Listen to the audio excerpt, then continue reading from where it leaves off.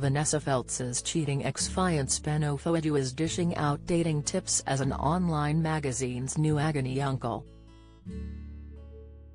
The Phats and Small singer, 50, was thrown out by TV favorite Vanessa for being unfaithful and sexting other women, but is now offering love advice in Mind Jump Monthly.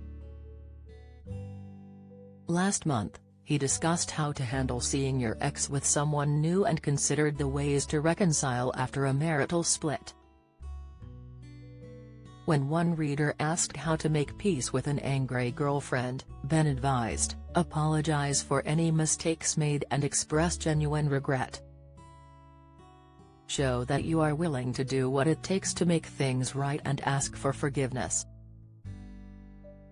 And in response to a reader's question about a paranoid, controlling girlfriend, he said, dealing with a partner's insecurities can be challenging, especially if they stem from past traumas.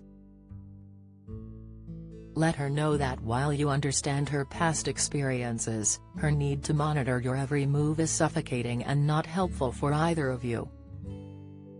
In February, This Morning Agony Aunt Vanessa, 61, revealed that her 16-year relationship with Ben was over and she had booted him out of their London home. He later confessed in this paper to sleeping with the woman three times in 2015 and sexting another for nine months. At the time, Ben told how he was subjected to vile trolling, causing him to struggle with his mental health.